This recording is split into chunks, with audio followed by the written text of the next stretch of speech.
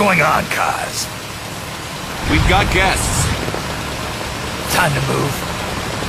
Don't worry, it's not our friends from Langley. I brought him.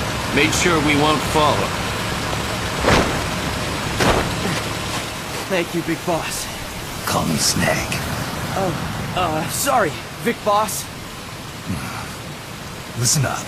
For us, there is no victory. But in Revolution, doesn't one triumph or die? We don't do either.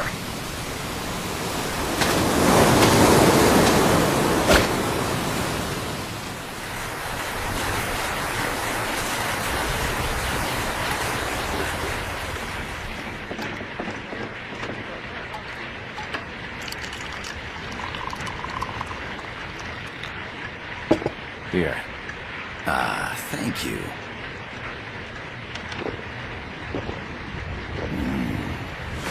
I feel like a new man. There's no coffee like Costa Rican coffee. Ah. So, what brings a distinguished scholar from the Costa Rican government to Colombia? Professor Galvez comes from Costa Rica's University for Peace. You see, over the past year, there have been sightings of an armed group in Costa Rica. They're not ours, of course. Costa Rica doesn't have an army. Correct. Article 12 of our Constitution states that the Army as a permanent institution is abolished. The Peace Constitution. You think it's rebels who fled Nicaragua? No, no, they don't appear to be guerrillas. They're far too organized. What's your government's take? The authorities in San Jose claim it's a multinational security firm, hired by the Development Corporation of Costa Rica. Lies, obviously. They're bringing in state-of-the-art weaponry and equipment by the shipload. Where'd they get that kind of cash? I fear La CIA may be involved. The CIA. As you both know, the United States views Central America as its backyard. Even after Cuba, we've managed to maintain a delicate balance with the U.S. And your government can't just give them the boot? We are not allowed to bear arms. Japan's constitution has something similar. Article 9. It says Japan renounces war and can't maintain an army. I understand that you and your men have neither state nor ideology. That you will fight any foe. Please, you must drive them out of our defenseless country. We come to you, the Militaires Sans Frontières. So, you want to hire us? Yes, as our deterrent. We can't afford to pay much, it's true. But... We can offer you this. A forward operating base. An offshore plant in the Caribbean. Sounds pretty good to me. This place is becoming a mess anyway. Snake, we need someplace we can settle down. The governments agreed to cooperate. Unofficially, of course. A chopper for transport would be nice too. I'll see what I can do. Hold it. You seem to think we're just a pack of dogs of war. Is that right? Yes, that's what I've heard. You're an army without a state. No, we've only left our countries behind.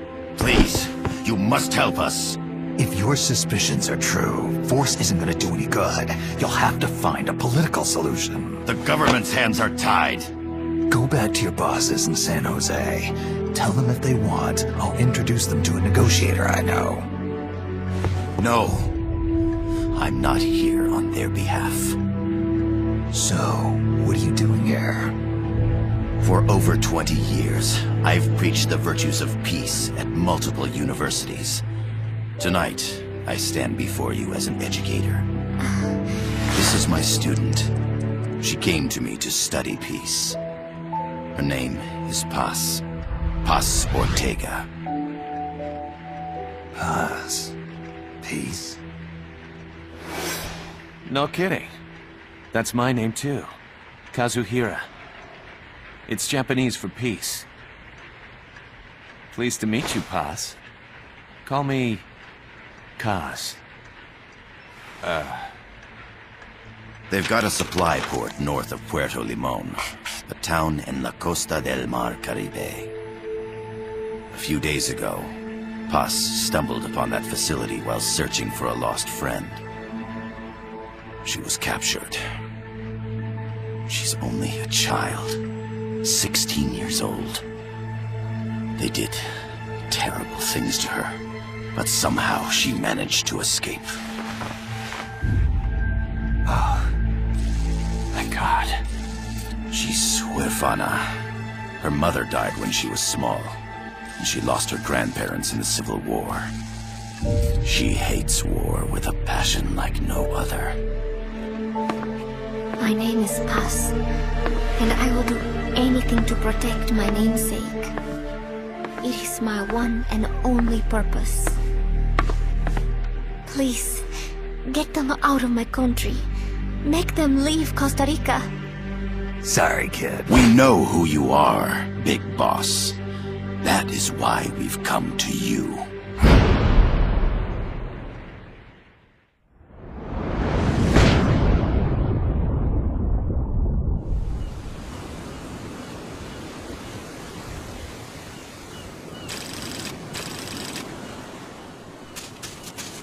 Miller here. Do you copy, Snake? I see you've landed. That makes one giant leap for us. I'm sending this from the offshore plant, our mother base. The signal is unidirectional. I'll be giving you commands and advice through this channel. Keep your headphones on at all times and pay attention. Also, make sure no one else... I gotta thank you for agreeing to this, Snake. Man, am I glad to be out of here. Finally, we can leave all that crap in San Geronimo behind. Break into the mercenary business for real. Let me guess. You're doing it for her, for her, for her.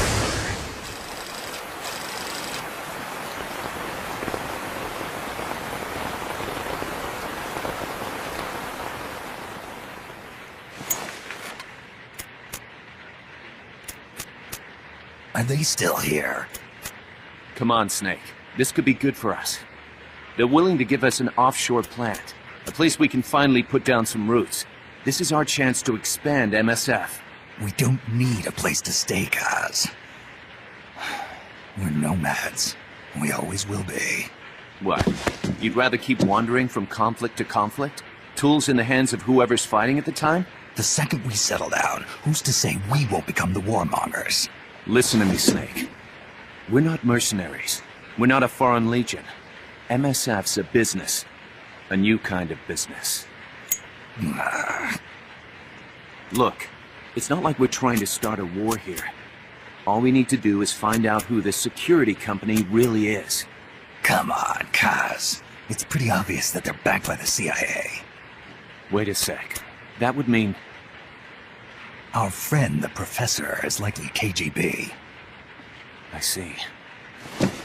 We'd be making an enemy of our homeland. And there'd be no turning back. Ah, this damn thing won't light. Huh? Put on some coffee, Kaz. It's time for a little chat with the professor.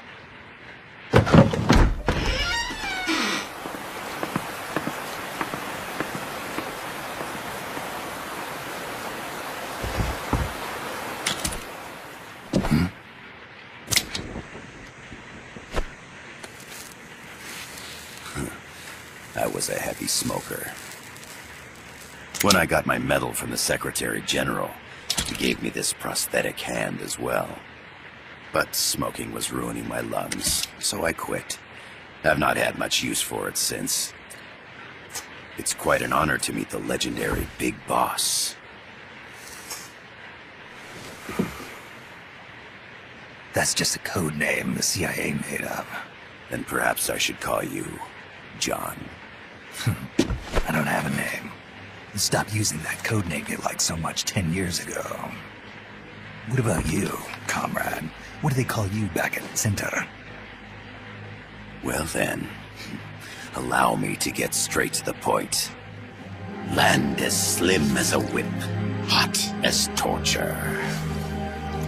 That's the Chilean poet, Neruda. Central America is the navel of the American continents, bridging north and south. We want this land. We'll build a socialist stronghold, then use it to split the Americas in two. America would lose its backyard. And with it, its economic production, shipping lanes, and strategic value. We, on the other hand, would gain a base from which all of Latin America would be well within our reach. He who controls Central America will win this Cold War. First comes Nicaragua, toppling the pro-American Somoza regime. In preparation, we've begun instigating anti-Somoza sentiment and providing aid to the Sandinista National Liberation Front. You're manipulating Sandinista into overthrowing Somoza for you. After the revolution, Nicaragua will become a socialist state. You think America's just gonna let that happen? Certainly not. After all, the CIA is already here. And that's the armed group inside Costa Rica. Simply put, the army now stationed in Costa Rica is CIA capital. But it's more complex than that. The CIA's got something else planned as well. What? That is the million dollar question.